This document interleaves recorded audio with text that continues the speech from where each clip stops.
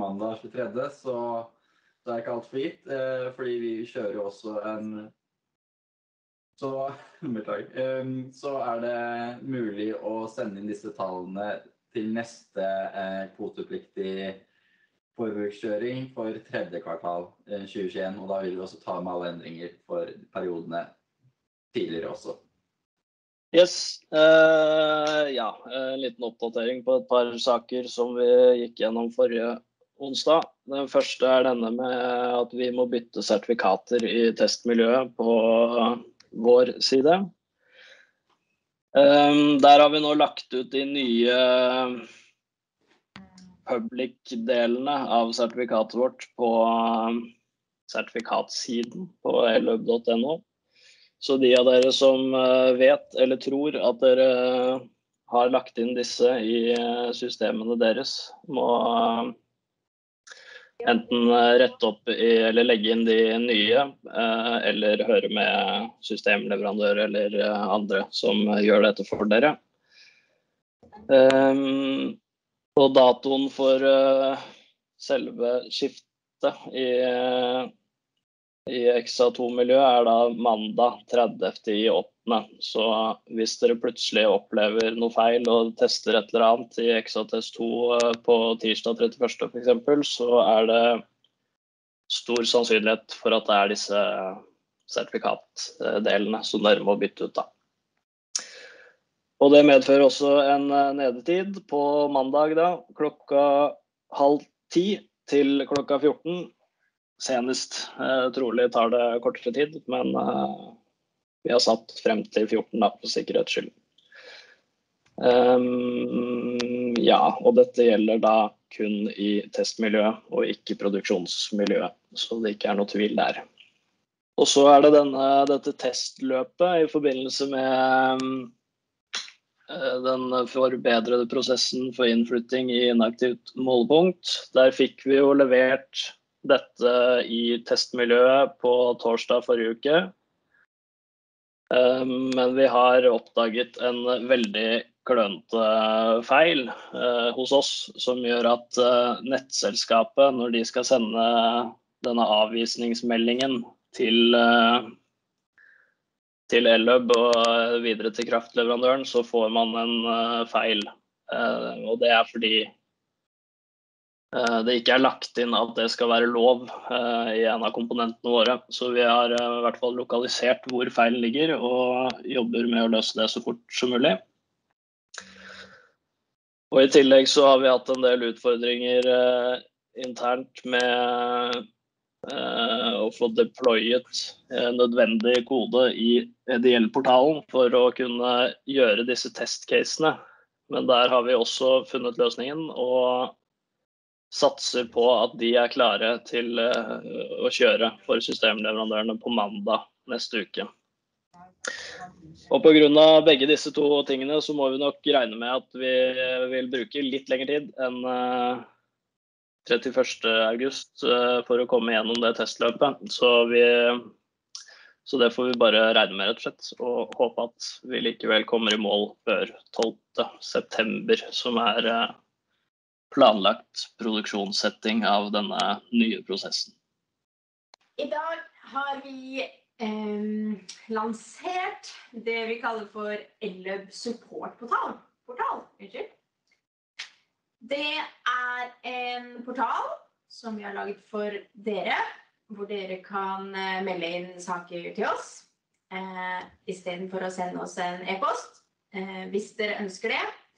Og som jeg håper og tror at også vil gi dere en god oversikt over alle saker som dere da melder inn til oss. Kan se litt på bildet på siden her. Det er hvordan portalen kommer til å møte dere. Og så trykker man på spørsmålstegnet for å melde inn en ny sak og skriver opp hva dere lurer på.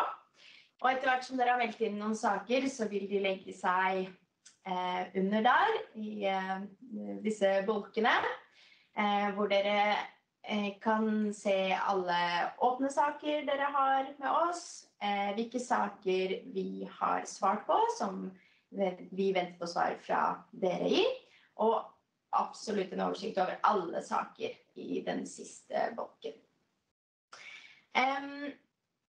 Vi håper jo at uh, det her er noe dere blir glade for, og som uh, dere vil ta i bruk. Uh, men det er ikke sånn at dere ikke kan sende oss e-post lenger heller, bare så dere vet det. Post.elub.no er åpen. For at dere skal komme dere inn i supportportalen og ta den i bruk, så må dere faktisk sende oss en e-post til post.elub.no og si hei, jeg vil ha en bruker til supportportal. Fordi det må vi lage til dere. Og vi trenger da at dere sender oss navnet deres, e-postadresse, mobiltelefonnummer og eh, navnet på selskapet som dere jobber i. Eh, og når dere har gjort det, så lager vi bruker, og så sender vi dere eh, passord, sånn at dere får eh, logga inn. Um, ja, og så har jeg bare lagt med en link til en brukerveiledning som vi skal se på om litt. Men jeg tenkte vi kunne se litt på eløv.no. Hvis du vil bytte, Kristine. Da kan vi starte på forsiden. Vi har lagt en link der Kristine viser nå, eh, til supportportalen. Så hvis du trykker på den, så kommer du til innloggingssiden. Um, og eh, det første som møter dere, er det bildet her. Og det, det jeg viser til nå, er det vi har laget i brukerveiledningen. Så første gang så må dere sette opp eh, kontoen deres med brukernavn og passord som dere får tilsendt fra oss. Eh, og så skal dere bytte passord. Eh, og så eh, et ekstra steg for å komme inn her er at det er en totrinnsverifisering. Så dere må linke det opp med en autentiseringsapp. Hvis dere ikke har det fra før eller ja, jeg anbefaler egentlig å bruke da appen til Google, som heter Google Authenticator. Um, og du trenger bare Altså, du skal skanne denne QR-koden som dere ser, eh, og da kommer appen tilbake til deg med en sekssifra kode som du skal putte inn i feltet overfor den grønne knappen her. Og for hver gang du skal logge inn, så må du gå i eh, autentiseringsappen og få ut den sekssifra koden men du skal ikke sette den opp med QR-kode hver gang. Så det har i hvert fall gått eh, radio og bra når vi har testa. Eh, videre her i brukerveiledningen så er jeg satt Eller vi har ja, tatt med litt bilder av hvordan det ser ut. Um, eh, ja, og så se gjerne i brukerveiledningen første gang dere melder inn en sak, hvis det um, ikke sier seg selv. Men man trykker bare på den uh, spørsmålsknappen. Uh, du må gjerne kategorisere saken etter beste evne om hva den handler om. Noe sier seg selv, andre kan man ja, kanskje slenge en generell haug. det viktigste er at dere skriver det dere lurer på. Eh, og så kan man legge ved eh, vedlegg både før man eh, sender inn saken, og også i ettertid. Så hvis du har glemt det, så går det bra. Um, og så nedover har jeg prøvd å forklare litt hvordan, man, ja, hvordan det ser ut etter at dere har meldt inn saken, og hvordan det vil se ut når dere får svar fra oss. Så ja, vi blir glade hvis vi nå får noen mailer om at dere ønsker dere brukere. Så skal vi være kjappe på å gi dere det. Over til uh, aktuelle saker. Um, webinaret Nasjonal standard for utveksling av tariffer og prissignaler for nettleie, som ble holdt på mandag, det har vi publisert på LBNO. Og Her har jeg lagt inn link til hvor dere finner det. Um, og I det webinaret så uh, gikk vi gjennom de viktigste funnene i rapporten som eh, vi har gitt ut, som vi har eh, kalt 'Nasjonal standard for utveksling av tariffer og prissignaler for nettleie'. Og Den kan dere også finne i sin helhet og laste ned eh, og ta en titt på. Så um, de som ikke fikk anledning til å være med der, har da mulighet til å se det i ettertid. Og vi kommer også, for de av dere som er med i brukerforum, til å snakke litt mer om dette her i morgen. Når det gjelder strukturdataendringer, så går vi mot månedsskiftet. Og vi har da to strukturdataendringer som gjennomføres med endringsdato 1.9. Den første er en porteføljeovertakelse fra Flesberg elektrisitetsverk AS til Kraftrike. Det er Elleb som kjører den porteføljeovertagelsen og genererer BRS NO 305. Og vi planlegger å kjøre den på fredag. Så da sendes meldinger ut på fredag for den, med endringsdato 1.9. Eh, den andre strukturdataendringen er også en porteføljeovertakelse. Det er fra Sognekraft AS til Vatn AS. Elleb kjører også denne porteføljeovertagelsen og genererer BRS NO 305, og den planlegger vi å kjøre på mandag. Så meldinger for denne sendes mandag med eh, endringsdato også 1.9. Henrik, da gir jeg ordet tilbake til deg.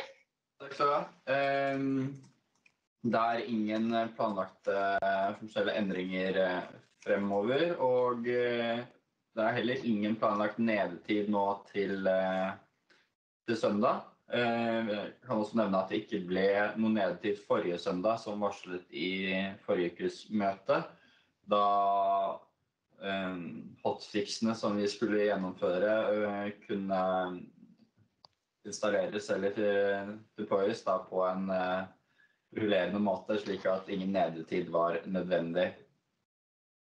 Eh, det er eh, i EXA test 2-miljøet så er det planlagt nedetid den 30. august fra klokken halv ti til klokken to.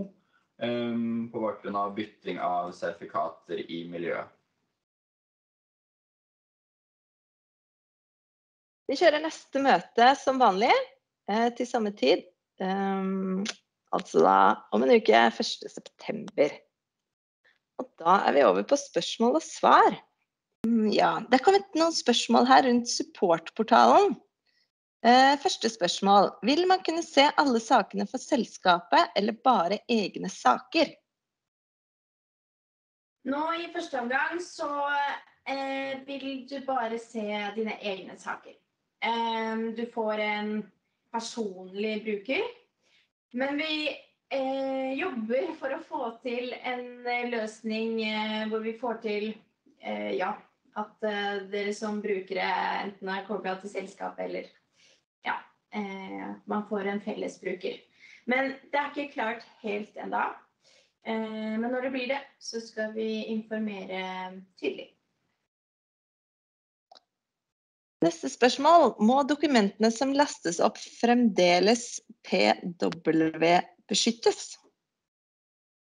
Jeg regner med at det betyr at de må passordbeskyttes.